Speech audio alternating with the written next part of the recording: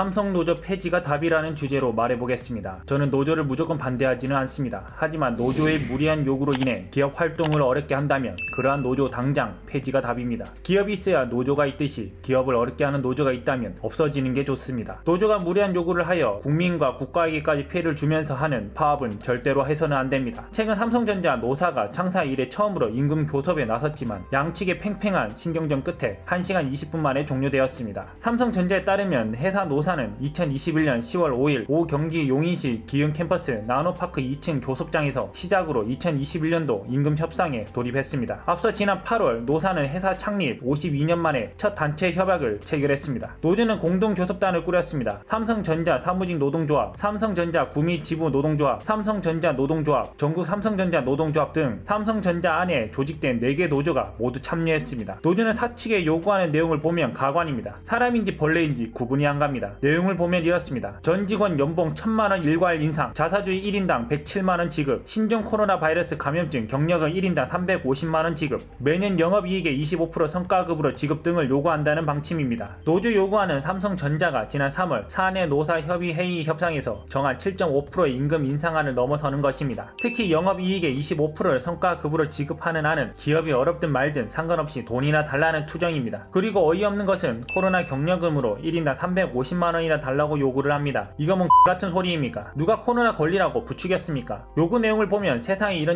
들이 없습니다. 업계에서는 노조 임금 요구안이 그대로 받아들여질 경우 직원 한 사람당 급여는 지난해 수준의 절반 이상이 오를 것이라는 분석을 내놓았습니다. 기업 분석 연구소 리더스 인덱스에 따르면 삼성전자 노조 요구안대로 임금이 결정되면 직원 1인당 급여는 평균 1억 8,260만 원으로 작년 평균 급여인 1억 2,100만 원보다 약 51% 오릅니다. 리더스 인덱스는 직원 1인당 급여가 6천만 원 오르면 삼성전자 단기 순이익은 최소 6조 원 줄어들 것으로 전망했습니다. 1억 8,260만원 만원은 거의 2억입니다. 2억이 누구 애들 이름인 줄 알겠습니다. 무리한 요구를 하는 이유는 지들이 일 적게 할 테니 월급만 올려달라는 도둑 심보를 가졌기 때문입니다. 노사 양측은 초반부터 기싸움을 벌였습니다. 노조 측은 노사 간 조율이 필요한 사안에서 이견이 좁혀지지 않아 상견례를 진행하기 어렵다고 판단했다라며 조만간 상견례를 다시 열고 정식 교섭 요구안을 전달할 예정이다라고 했습니다. 그 요구를 하는데 당연히 노사 간 이견이 좁혀지겠습니까? 사측은 이 요구 사안을 절대로 들어줘서는 안 됩니다. 이뿐만이 아닙니다. 지난 2021 2021년 2월 8일에는 삼성그룹 내 한국노총 산하 8개 노조가 6.8% 임금 인상과 함께 정년 보장과 임금 피크제를 폐지하는 내용의 공동조섭을 요구했습니다. 저성과자에 대한 임금 삭감 폐지와 함께 궁극적으로 고가제도 폐지도 주장했습니다. 정부가 노사 의견을 절충한 직무급제 전환을 추진하는 가운데 사실상 호봉제를 주장한 것이나 마찬가지입니다. 이들의 주장을 들어보면 기업이 아니라 공무원 조직을 만들려고 합니다. 다시 말하면 월급만 많이 받고 일은 적게 하고 성과 제도가 없으며 일 못하고 실력 없 없어도 영원히 안 잘리는 회사, 놀이터 같은 회사를 원한다는 말입니다. 이런 조직이면 삼성이라는 기업의 존재 의미가 있을까요? 해외 선진 기업과 경쟁에서 살아남을 수 있겠습니까? 생각 있는 국민이라면 삼성의 미래는 매우 어둡습니다. 노조 주장대로 된다면 삼성은 제2의 노키아가 될 가능성이 농후합니다. 즉 망한다는 뜻입니다. 노조가 요구하는 대로 삼성이 개편된다면 10년 후에 삼성이란 대기업이 존재할지 불투명합니다. 이러한 터무니없는 주장을 하며 기업과 국가 경제를 좀먹는 삼성 노조는 없어져야 대한민국 미래 경제가 밝아집니다. 것입니다. 법을 개편해서 저 성과자는 회사에서 해고할 수 있는 노동의 유연성을 확보해야 합니다. 그리고 마음껏 일하고 일한 만큼 보상받으며 성실한 사람들이 부자가 되는 공정한 자유시장 경제를 확립해 나가야 합니다. 기업만이 아닙니다. 공무원 조직이든 조그마한 가게이든 일을 하지 않고 월급만 축내는 벌레 같은 인간들을 바로 해고할 수 있는 사회 문화와 법이 정착되어야 합니다. 그래야 유능한 젊은 청년들에게 일할 기회가 주어지는 공정한 사회를 만들어 나갈 수 있습니다. 이상입니다.